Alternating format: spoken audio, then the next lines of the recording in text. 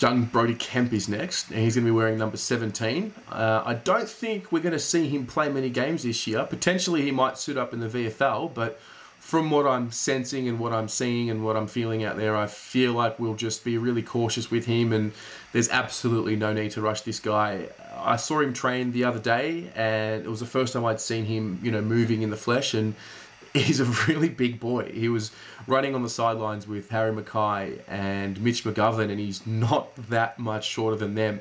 Um, he's got some some some wideness to, to gain, but again, he, he's his main focus for me in 2020 is just to get that knee right. He's working with Andrew Russell. He's got a guy like Sam Docherty who's been through, you know, the severest of all knee injuries, and I think he's got a he's got a really good environment around him, and he's got an opportunity to just focus on himself. No external pressure. There's not going to be any media scrutiny around him this year, and I think that's going to allow him to prepare himself for 2021.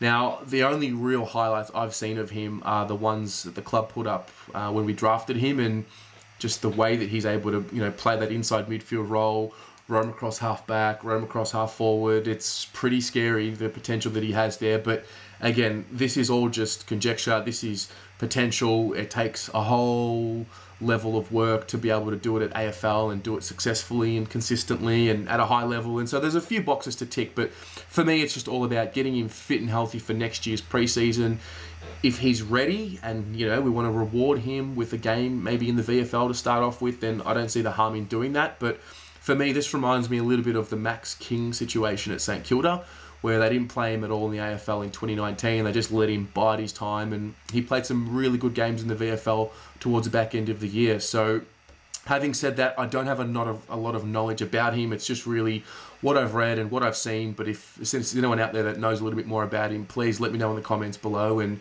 let me know what you guys think. How should we best approach Brodie Kemp's 2020?